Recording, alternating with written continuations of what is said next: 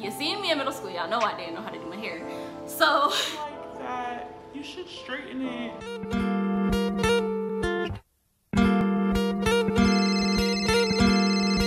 Wait a minute.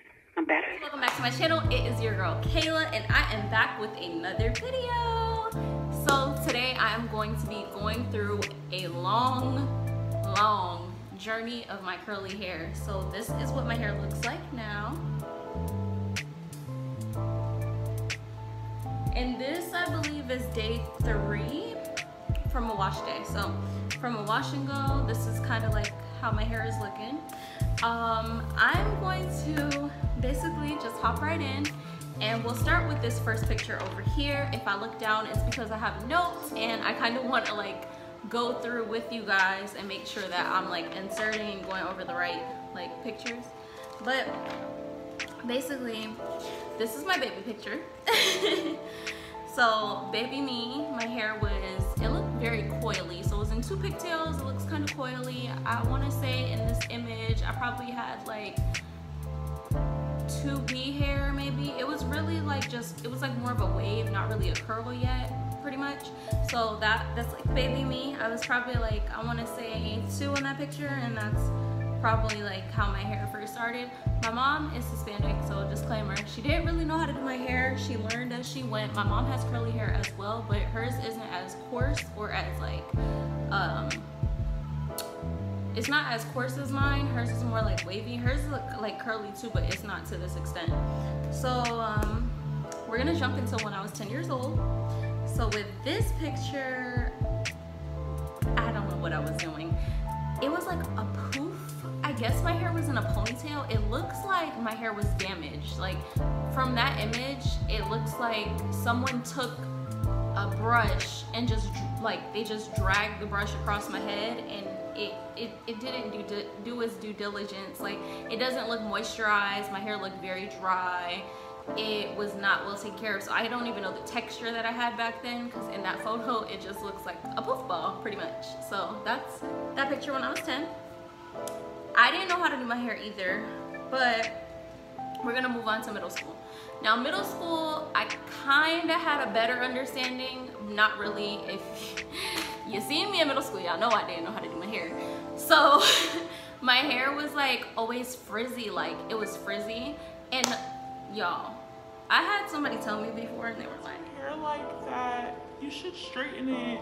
Didn't know like about heat damage or anything like that okay. Or ponytail retention, which is a thing. So in this image right here, I actually was experiencing ponytails. I did cheerleading as well, so like my hair was always pulled up and pulled back into a ponytail. So like high ponytails. And then I don't know if y'all remember the phase of like when we did the ponytails and then you would have like the bang straightened. I don't know why I did that, but if you're a curly girl, you understand my struggle. So that was another thing that I did. And I was just like ponytail it because I didn't know what to do with my hair. Like I didn't know now my experience in this photo over here, it was it was the heat damage for me. So I would I would do like I would do flat twist at the top and then I would straighten the rest of my hair. And as you can see in this picture, my hair looks so brittle. It looks so dry. It like the ends look dead. Like it does not look like no.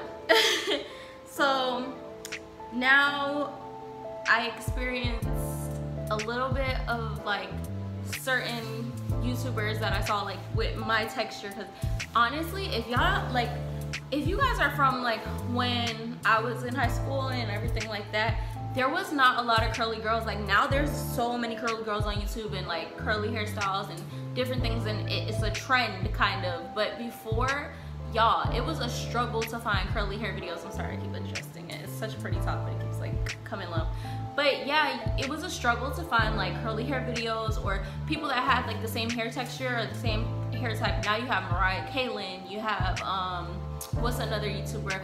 Um Jasmine Brown. Like you have diff or Jasmine I think it's Jasmine Brown. You have her you have Moriah Kayleen. You have like curly hair girls where you can actually see how to do your curly hair. And a lot of the times it was not like that. Like when I was in school and I was trying to figure out what to do with my hair, I didn't know what to do because there was no videos, no knowledge, no one could inform me because no one had the same texture or the hair type as me. And it was kind of frowned upon to have your hair like curly. It looks unprofessional or you shouldn't have your hair like that and beauty. But that's aside from where we're going with this. This is a curly hair journey, not a rant. So basically, get into high school and I start seeing protective styles, right? So in this picture, I had faux locs. So I kind of learned about faux locs, braid outs, twist outs, that, right? So I do faux locs and that was like one of the protective styles I would go to. Then after high school, I did my first big chop. So when I did that big chop, it was a pixie cut. I can't find the photo of like when I did the pixie cut, but I did the pixie cut. It was super, super cute. So I did the pixie cut and it was after high school because I went to culinary school and everything like that. Now moving forward, since I couldn't find that photo, this photo here was actually when I was in college. So my hair had grew tremendously and it, I was doing hair masks, I was doing satin pillowcases, dry with the t-shirt towel. Like if you want to see like my curly hair routines or my curly hair videos make sure that you guys go check it out and you guys will see because i have a whole like link of how i actually get my curls like this. So um i had that going on and then this is when i got like the braid outs and i did the twist outs and things of that sort. So that's kind of what happened there. So after that and i experienced more like more styles and stuff like that, I went and I um I was convinced and ladies, especially my younger girls, if you're watching and you watch my videos, listen to me. Don't do what I did. I was dating somebody and they were like, oh my gosh, I think you should like, I, no, well, I, mm, let me put it this way. So I kind of told the person I was dating and I was like, mm, I kind of want to cut my hair. But I was so frustrated because in this picture, I had blow, like I blow dried my hair and this was after three years of not straightening it, right? So I blow dried my hair and I straightened it. It still looked like this. So I was so mad. So I told um, the gentleman I was dating, I was like, I want to cut my hair. Like I'm frustrated, I'm over it. I don't want to have curly hair anymore, da, da, da, like everything. He goes, you should cut it all off. So I was like, okay. And one day I just woke up, I was like, yeah, I'm gonna cut it. I cut it off. If you haven't seen that video, make sure you check that out because I do have where I chopped off all my curly hair. So I did it. I was so sad. Y'all, I was sad. But I did it and um, it was really cute. I had um, ended up going and I did finger waves and it, girl, could not tell me nothing with my finger waves. Super cute.